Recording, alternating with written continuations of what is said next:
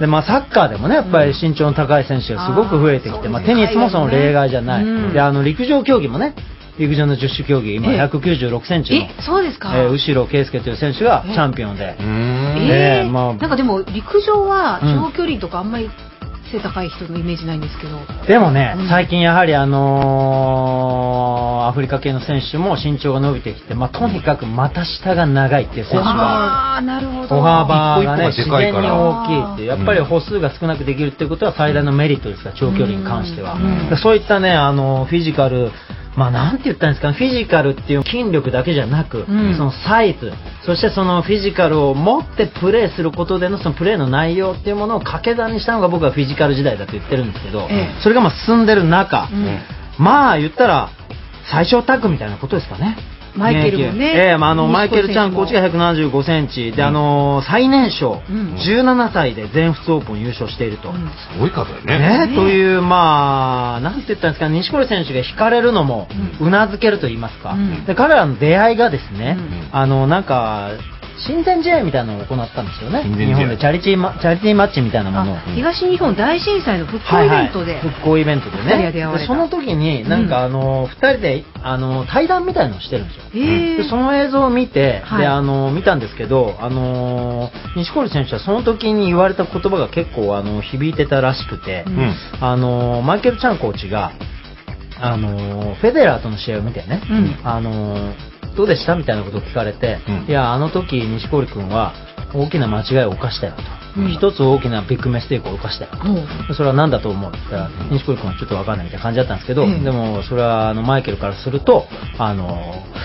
僕はすごい憧れの選手で、ああのロジャー・フェレデは憧れの選手で、僕のアイドルなんだと。錦織選手が言はい、で。あの試合、あの決勝で当たれてすごく光栄だみたいなこと言ってた。うん。それがビッグミステイクだと。もう間違ってる。だ確かにあのこうあのコートの外で、うんあの選手を尊敬するのは自由なんだけども、うん中に入ったらそうじゃないと。お前は俺が優勝するために邪魔な存在なんだと。はい、あうんなんかね、ええまあ僕がビクトリーを手にするのに、うんあなたがそこの道にいると邪魔だよっていう存在じゃないとダメだと。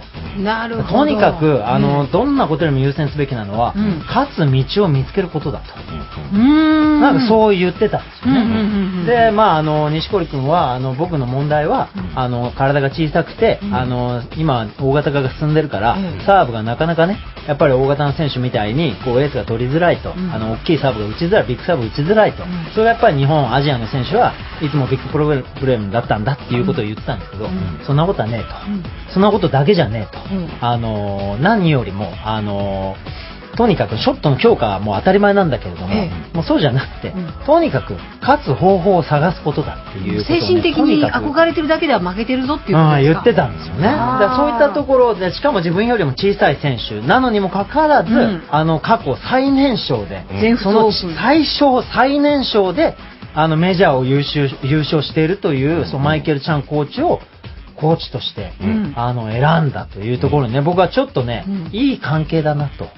いうのをね、すごく見たんですよね。うんあのー、テニスってね、なんかどんなスポーツだろうっていうふうに僕いつも見てたんですけど、うんあの、勝つために必要な能力っていうのが無限なんですよ。無限。無限？ええ、例えば、じゃあ、5メートル先までにうん。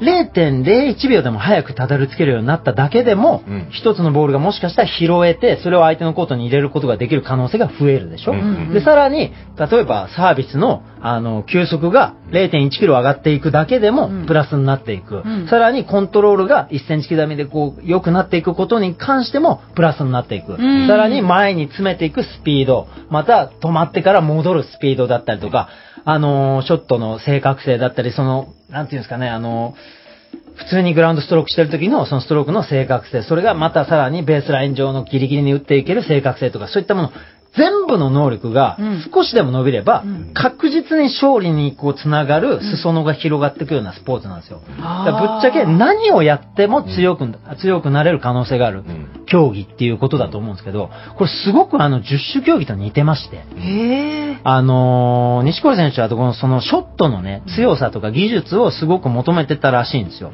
この対談を見ると、うん。なんだけど、そうじゃないよと。あの、とにかくマイケル・チャンコーチが言ってたのは、あの、勝つ道を見つけるっていうのを何度も何度も口に出して言うんですよ。うんで、あの、最近、あの、西堀選手にね、あの、インタビューがあって、うん西堀選手、マイケル・チャンコーチとの関係どうですかっていうと、うんあの、いや、厳しいですと。うんで、本当にあの、高校とか大学の部活みたいな練習をしていますと。で、朝2時間練習してうん、昼も練習して、夕方も練習して、よ、あの、帰るのが夜の7時ぐらいなんだと。で、体がボロボロになって、もうあの、夜は家族とも口聞けないぐらいになってますと。んいうぐらい厳しいと。うんで、まず、うんだから彼にまず授けてるのは、マイケルちゃんコーチは、多分現役時代自分が持ってたであろう、フィジカルの強さ。まあ、えあの何時間もコートの中で動き回って、他のどの選手よりも、参加選手のどの選手よりも動き回っても、あの勝ちにつなげられる、そういう能力をまず身につけさせようと。だからこの大会ですごくバテなくなったっていうね、前の大会と比べるとね。うんそう、だからなんかね、ファイナルセットまでもつれた時の勝率が過去のテニスプレーヤーで最高なんですって、今。そうですね。ーうんろ接戦になればなるほど勝ってるって言そうそう、ってましたもんね67%ぐらいって書いてあったかな。なんかそのぐらいの強さで、まあ、5セット目までもつれ込んだ時は、まあ、3回に2回は勝つような選手だと。うんうんで、とてもタフだということで、うんそのタフさがさらに輪をかけてタフになってると。うーんだショットの強化というよりも、うんショットにつながるまでのうん過程もまあ、単純に部活のなんか練習をしてて、うん1年生が2年生になったらすげえフィジカル強くなってるじゃないですか。まあ、いつの間にかね。あのレベル。ルで強くなってると思うんですよ。はあ。でね、あのー西堀選手はよく、あの、技術指導をすごい細かくされるんですよ、マイケル・チャンコーチに。うん。なんだけど、反論するらしいんですよ。へえ。いや、僕はこう思うんだけど。ええ。ただ、それの、もう反論するんだけど、ほとんどで言いまかされてますって言うんですよ。ここがね、僕、僕素晴らしいことだなと思ってて、はいな確かに西堀選手も世界のトップクラスのテニスの技術を身につけてるんだけど、うんだけども、うんチャンコーチが、うんあの、さらに西堀選手より小さくて、うんさらにいい成績を上げてたわけでしょ、はい。でそのための、あの、やっぱ技術量っていうのは半端ないレベルにあると思うんですね。多分、過去の世界のトッププレーヤーの中でもトップクラスですよ。うん。例えば、アンドレ・アガシ選手とかね、はいはい。あの辺と似たようなタイプだと思うんですよね、多分ね。いろんな、うんテニスのプレーヤーのタイプは違うと思うんですけど、うん。あの、やっぱり小さい選手っていうのはうん、戦略が半端じゃないんですよ。うん。であの、僕自身もそうでしたけど、やっぱり190センチぐらいある十種競技の選手を倒すのに、うん。普通に技術練習、例えば高跳び、幅跳び、棒高跳びっていうのを技術練習を1個ずつやってたんで追いつかねえと。うんじゃあどうしたらいいんだと。うんそれをまとめて上手くなれる方法ないかっていうんで、うん僕がトレーニングで積み重ねてた、思った通り体動きゃいいじゃねえかと。で、技術は真似しちゃえと。うんで、技術練習の時間を少なくして、うんフィジカルの能力を先に高めちゃえと。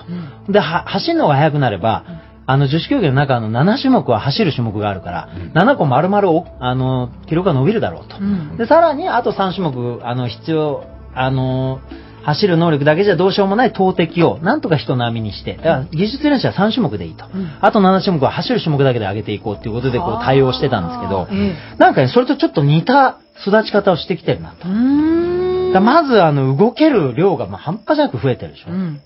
さらに、あの、彼から教わってることで、あの、反論できないような理論をぶちつけられて、うん。あの、普通トップ選手っていうのはね、うん。考えて実行する天才なんですよ。えだから人からの話ってあんま聞かないもんなんですよね。だってこの時点でもう西堀選手はもう超一流でしょ、ええ ?2011 年の時点で。ええ。そうなんですけど、うん。でもその錦織選手がうん。言い合いで、技術論の言い合いで、ほとんど言いまかされるって言うんですよ。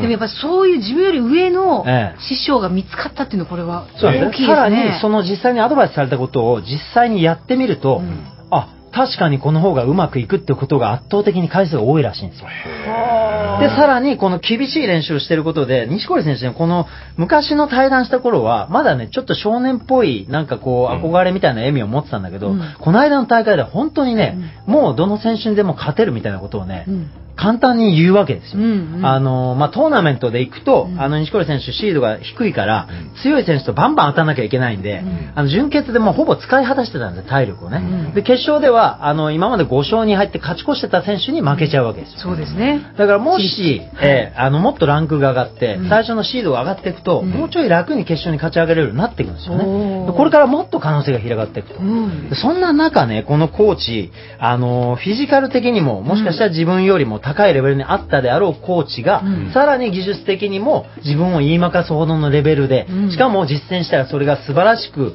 あの、機能するような技術を自分に売ってくれてる状態っていうのがね、これあの、よくね、名選手、名コーチにあらずって言うんですけど、はい。僕は、あの、名コーチ、ん。名選手が名コーチになった場合を超えずって思ってるんですよ。んちょっと待ってください。ちょっともう一回そこ整理させてください。名コーチ、名名選手が名コーチになった場合を超えずっていうね。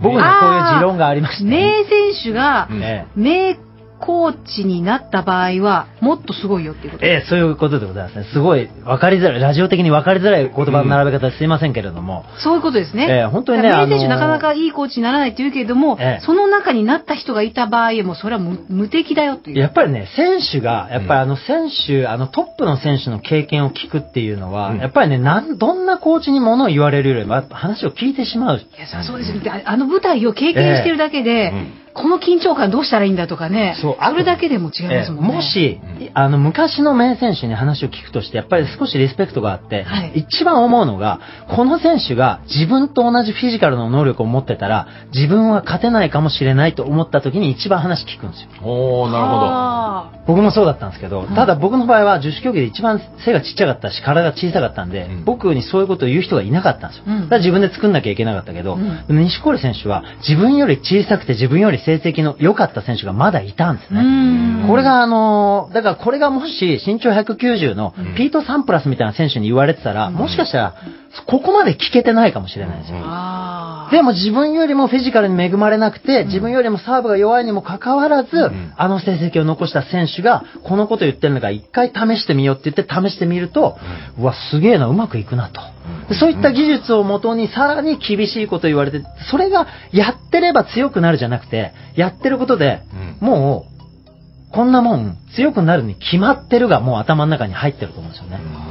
だから、より、まあ、前に行く速さが、もう、どんどん前に出ろ、前に出ろっていう練習中も言うらしいんですけど、うんそういったことを厳しく言われて、0.1秒でも早く前につけば、もっと勝つ確率が高まるっていうのは、もう実感して練習できてると思うんですよね。だからフィジカルきつくても言うこと聞けるし細かい技術言われても言うこと聞けると。マイケルちゃんすごいじゃないですか。ええ。マイケルちゃんを教えた人は誰なんだ、ん。こう辿っていきたくなる感じありますけどね。もしかしたら天才的に自分で編み出したものだからこそのうん。自分の言葉かもしれないし、うんまあコーチはいるんでしょうけれども、こういったね、あの選手が圧倒的に敗北してしまうと、もう、もう両、もろ手を挙げて降参してしまうようなコーチと出会うっていうのはなかなかないことなんですよね。この関係をね、日本の、あの、本当にスポーツ界に落とし込みたいと。んなかなかね、トップの選手ってコーチにならないですから。あーあんまりね。ええだからまあ、稀にいますけど、なんか井上康生、あの監督が今やってたりとか。うんただ日本の部活レベルでこういう実態がなかなか起きないんですよ。うん精神的な質になることはすごく多いんですけども、うんあの、コーチというよりも、本当に指導者なんですよね。日本のコーチングっていうのは。だからこそ、やっぱり日本のトップ選手、あの、学生のトップ選手を指導する、うんやっぱり絶対的支柱となるような、うん成績も素晴らしくて、うん指導力もあるコーチっていうのをね、やっぱり育成が僕はすごい必要になってくるなとうん思ってますうね。んうん、なんだかんだね。そうか。こう難しいんですけどね。うんいや、だってお笑いの吉本もね、社員さんが若手のネタとか見るんですけど、えやっぱどっかあるんですよ。お前に何がわかんだっていうあ。社人じゃねえかっていう。ただの大卒の人でしょみたいなうん気持ちあるちょっとそれ同のがあったり。じ板の上に立ったわけじゃない。そうそう。だから結構、僕とか福岡自体はその役をやったりとかしてましたけど。なるほどね。うん、それでもきあんまみんな聞かなかったけどね。お前に何がわかんだ？なんだとこんな野郎って。切ない話うん話は堂々巡りで終わるんですけども。そうですか。ね、なんかね。だから、うんあの、コーチも、うんあの、上から言うんじゃなく、うんやっぱり選手に負けない勝負をしなきゃいけないなと。うんそういう時代に入ってきてる気がしますね。コーチこそやっぱりあの選手と戦わなきゃいけないと。うん。そんな時代なんですかね、多分ね。だから私もやっぱり、あの、指導する身としてええ、今後も選手に負けないように、さらにトレーニングをして、うん。絶対にあの人には勝てないと選手に言わせるコーチになっていきたいと思います。うわあ、いいですね。はい。ということで、今後も戦いは続くということでございます。ありがとうございます。